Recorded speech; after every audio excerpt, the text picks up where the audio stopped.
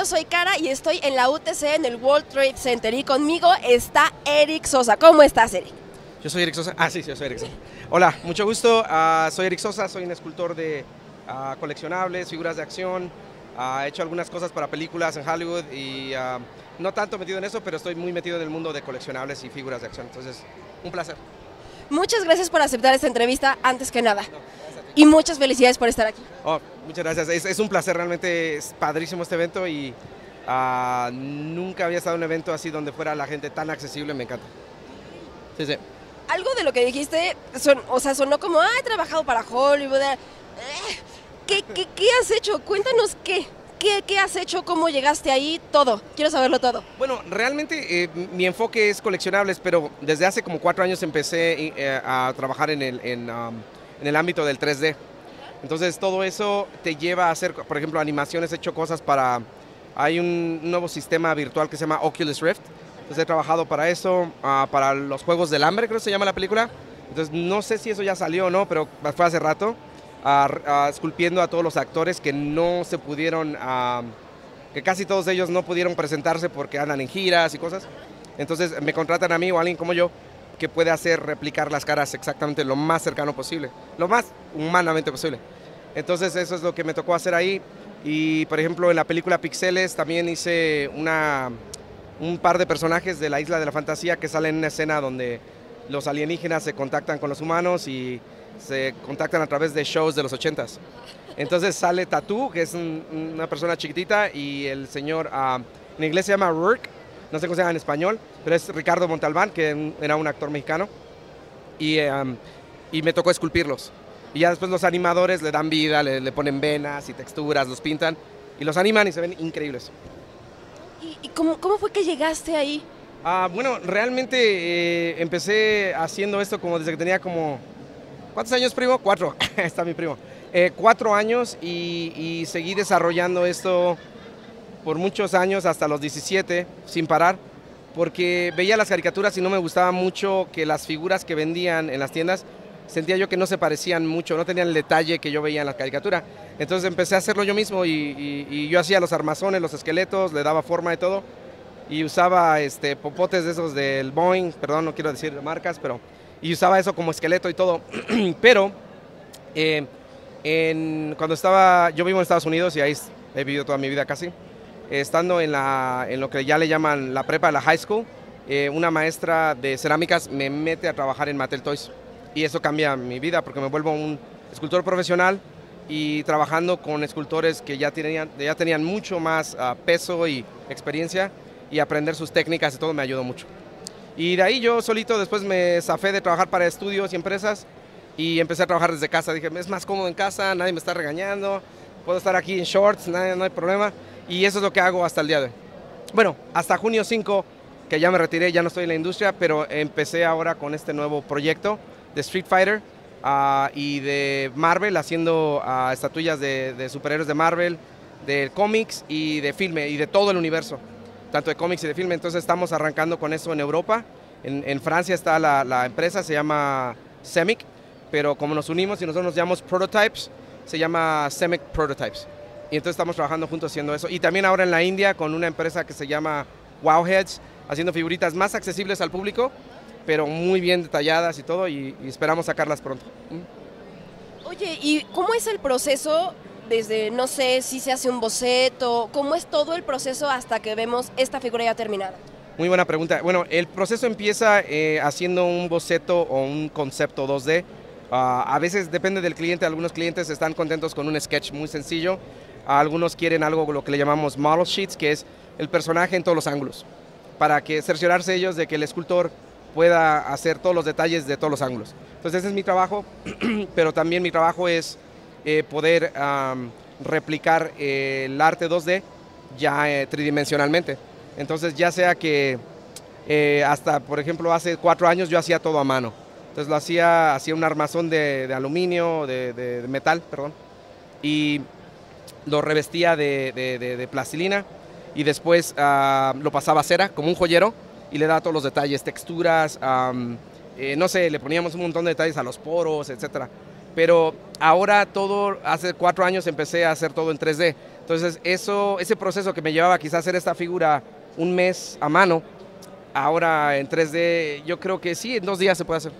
¿En dos días? Sí, el problema es que ojalá y fuera todo así, el problema es que los que tienen la licencia o el, ah, no sé cómo se dice, eh, eh, las personas que son los dueños de la licencia a veces eh, no contestan inmediatamente o a veces andan de viaje o tienen reuniones, etcétera. Entonces, de algo que se podría probar en un mes, a veces se tardan dos meses, tres meses. Entonces, algo que a mí realmente me tomó, no sé, una semana, lleva un mes en aprobarse. Si le lo dicen, ah, sabes qué, cámbiale el cabello, no nos gustó, ahora peínalo de tal lado. O sabes que la bandana esta hace la de color morado, ok, lo cambiamos. Y por ejemplo, si, si sobre esta figura te dijeran, no, cámbiale el cinturón o la posición de las piernas no me convence, ¿tienes que destruir la figura o cómo puedes hacer esos cambios del cliente? Ok, si fuera algo eh, hecho tradicionalmente, es decir, con plastilina o cera, sí, tengo que destruir todo. O que me digan, sabes que la cabeza tiene que ser 20% más grande, ya no me sirve esa cabeza, tengo que empezar de nuevo. Pero digitalmente solamente aíslo la cabeza, jalo mi pluma digital y se hace tan grande exactamente como yo quiero, en un segundo, menos de un segundo, así, ya, inmediatamente. Y por ejemplo, ¿hay algún personaje que haya sido particularmente complicado, a lo mejor por su anatomía o, por el detalle de los poros? ¿Hay algún personaje que en tu historia haya sido particularmente complicado? Esa es una muy buena pregunta. Ah, la gente pensaría que, por ejemplo, un personaje como Ryu, que es, estilizado realmente, esto, estas dobleces, dobleces, eh, eh, la anatomía es... No existe un ser humano que tenga este tipo de anatomía, es muy real, muy estilizada. Eh, los dobleces no existen realmente con la gravedad que tenemos aquí en la Tierra, no, no se hacen así los dobleces de la ropa ni nada. Pero eh, la gente pensaría que esto es muy complejo, pero esto es, no, es tan, no es tan complejo como un minion. Los, los minions es... Voy a llorar. Los minions son dificilísimos de hacer que sean aprobados. No lo sé, yo también quiero saber. Eh, la empresa no era muy conocida cuando empezó el primer largometraje de, ¿cómo se llama? Eh, no sé cómo se llama en español, Despicable Me se llama. Mi villano favorito. Mi villano favorito. Bueno, ok, muy bien. Entonces, los Minions eran simplemente personajes de background que no iban a ser como tan populares, según ellos, y se volvieron más populares que el personaje principal, los personajes principales. Entonces, la empresa empezó a tener mucho amor por los personajes y aparentemente se volvieron muy difíciles y son muy populares porque es muy difícil aprobar un producto de un Minion. Es decir, a, veces puede llevar hasta dos años aprobar un producto de un Minion. Y eso para un licenciatario lo destruye a veces.